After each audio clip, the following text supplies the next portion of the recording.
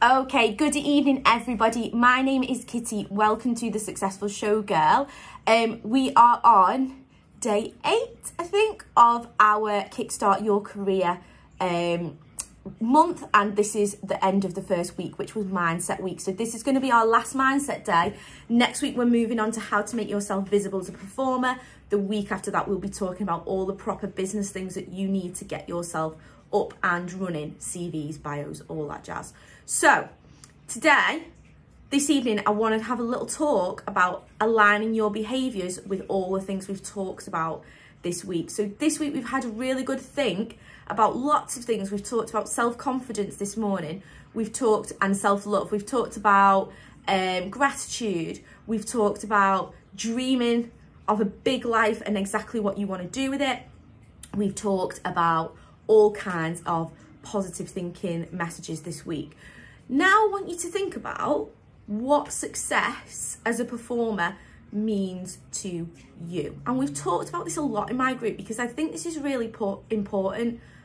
A lot of the time, we have this idea in our head that a successful professional performer is somebody who is always working all the time.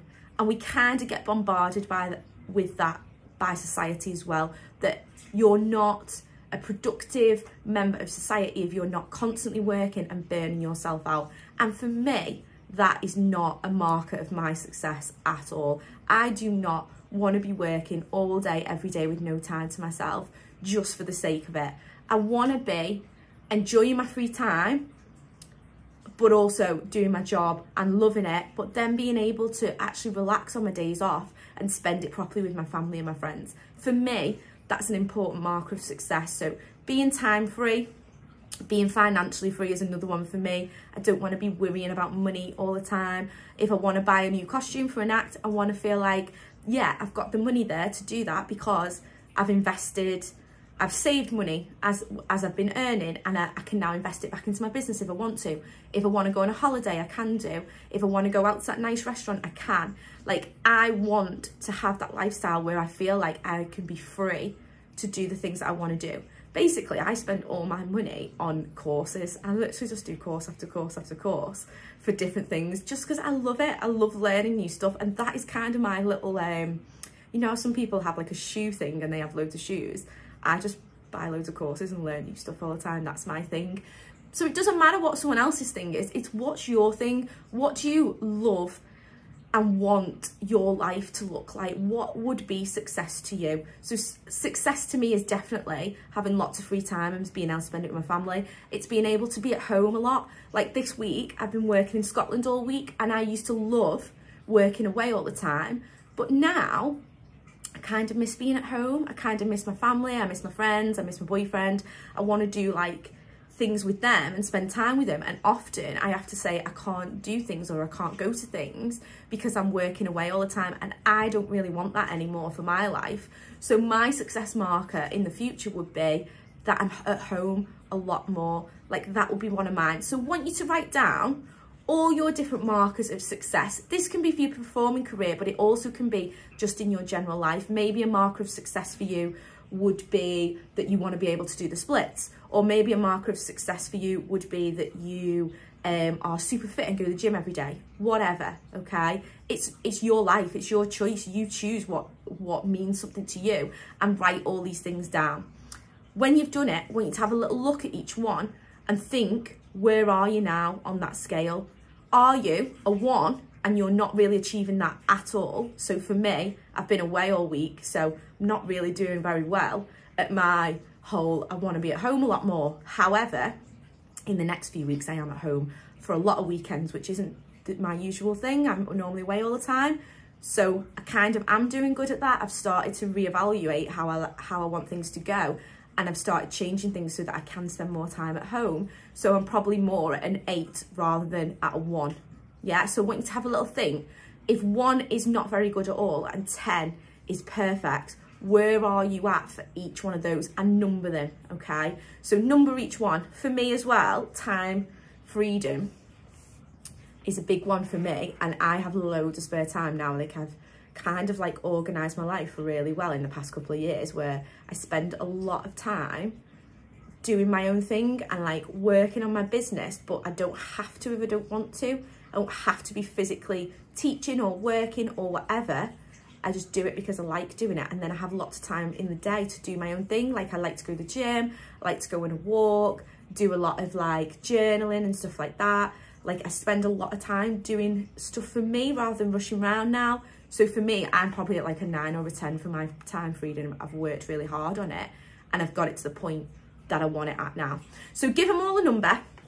Once you've got your numbers, look at the ones that aren't very good. So for example, if you're a, under a five in any of them, then we need to start thinking about what behaviours you can start creating to push yourself towards that. So if you want to be super fit and healthy, but you never step foot in a gym or you never do any exercise in any way, well then that's a behaviour that you need to change, isn't it? You need to think, how am I going to work that into my day? You have to start aligning your behaviours now with the kind of person that you want to be in the future. So if you want to be a super bendy, flexible person in the future, your behaviour starts now, doesn't it, to change that. What you do today is going to create the person in the future that you want to be tomorrow. So you need to start stretching every day. Yeah, that might only be for five minutes a day for now because it's a it's a new thing. But then eventually, after a year's time, you could be doing it loads and you could be mega bendy. All right. So you, I want you to really think about what behaviors you can start putting into practice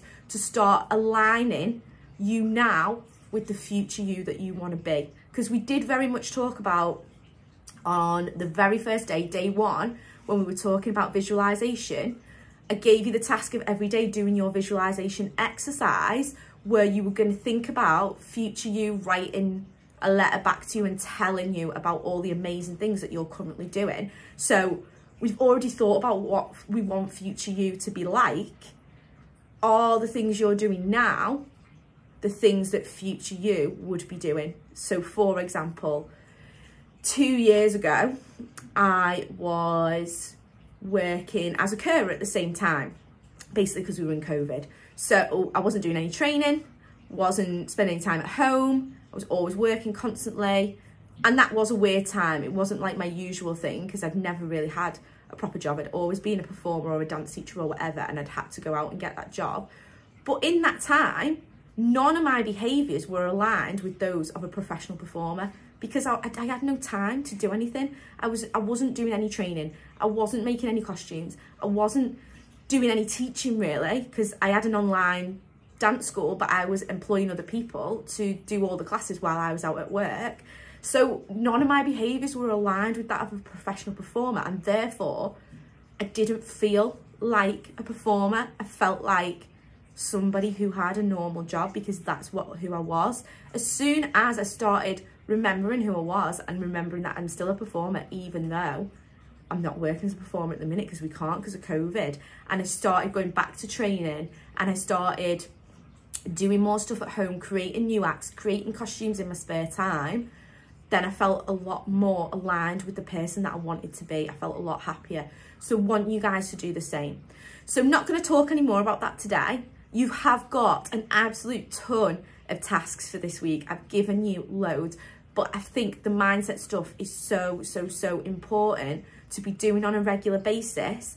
Maybe sitting down every day and thinking about a few of these things at a time, looking back over what you've journaled this week and checking, are you actually on track with all these things? Or have you just done it one time and then never looked at it again?